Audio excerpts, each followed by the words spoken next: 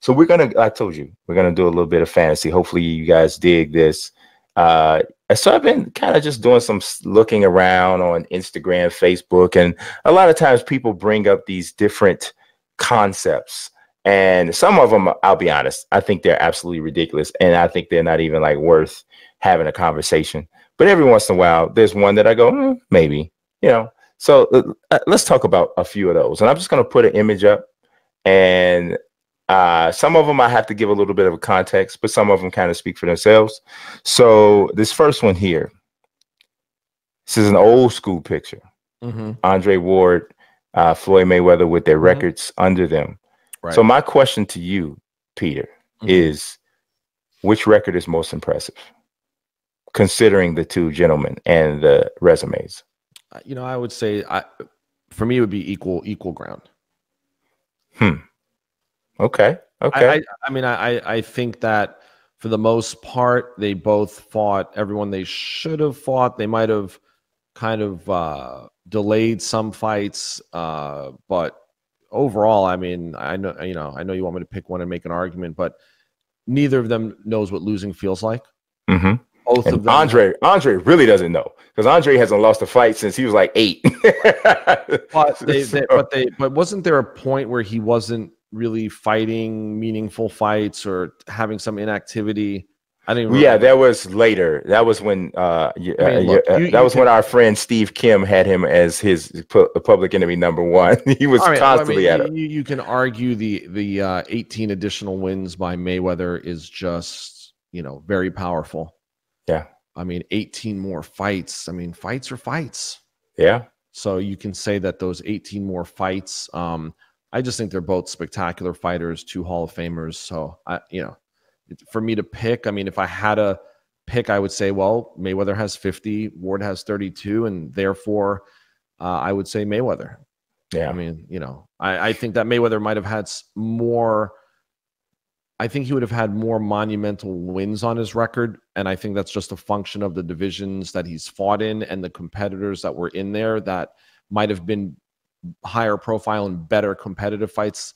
Even though Ward took care of business and did what was in front of him and unbelievable fighter. I mean, great fighter to watch. I mean, anyone that wants to learn the sweet science and, and I mean, you can watch both these guys mm-hmm. and, and you can take their styles and look at all the things they do right mentally and physically and and say that they're just you know both you know to the best but i mean if we're trying to if i if i had to pick somebody in this case i, I would just say the 18 additional fights on on mayweather's record would would set him apart yeah yeah and in some ways i think it's tough whenever you get into a situation where you're comparing guys who fought in different weight classes yeah. the guy who is the heavier one generally had is at a bit of a disadvantage.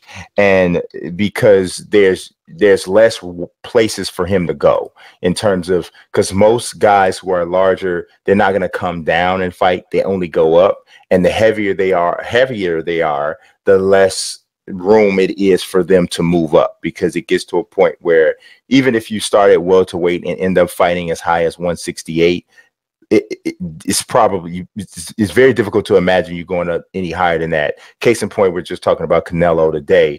Uh, Canelo's height is what it is. It's not probably even realistic to, to even think about him fighting above light heavy. So he has this 154 to 175 kind of scheme. You look at somebody like Pacquiao who came from so far down, so far up, even someone like uh, Henry Armstrong he started off very low in weight and moved up with higher weight classes. So I think the smaller guy generally has an advantage if you're looking at it that way. But I also look at it from a standpoint of the amount of Hall of Famers mm-hmm. on on a resume. And I do think that a lot of that is Floyd's, a function. Floyd's going to have the advantage there. Yeah, I do think a lot of that is a function of the weight class. Obviously, Ward fought a lot. The era, and, the era. I mean, yeah, yeah. I mean, Ward, you know, yeah. Ward fought a lot at 168, and uh, outside of the Super Six tournament that he was in and won, when he fought very good fighters in that time period, there wasn't a lot of you know, noteworthy competition that he fought before that. Uh, then he goes up to 175, and of course right. he beats Kovalev twice, which is a is, right. is, a strong victory. He beat Chad Dawson, right. which is another strong victory. Uh, so he has some very solid wins on his on his resume, but he doesn't have wins over the P over guys like Pacquiao, Canelo, Cotto.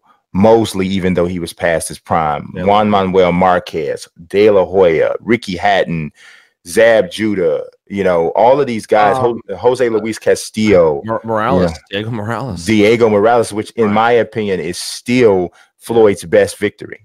And that's still the best the that fight. If you want to see right. what I would consider the absolute best of Floyd, yeah. Watch him against Diego Corrales. Well, you can argue that Floyd lost to Castillo. Um, I no, that is that that's that you, is that's you, my you, point. But you can argue that if Ward fought in the era of Roy Jones Jr. and James Toney, he may not have made it out of that division unscathed. So I mean, yeah. there's a lot of things we could say. Oh my God, Whew. Andre Ward, James Toney. You want to talk about a fantasy fight? I'm just saying, like that would be a beautiful yeah, fight. But that's the whole shoulda, coulda, woulda, maybe. What yeah. if? I mean, we we could do that. But to answer your question, I'm going to stay with Floyd Mayweather because just the additional 18 wins and uh, the the level of opposition. Yeah, yeah, I would take nothing away from Andre Ward. Though. Nothing away from I, I, Andre Ward did everything he could do with what he had Absolutely. in front of him. So it definitely. And all right. Yeah. Yeah, definitely.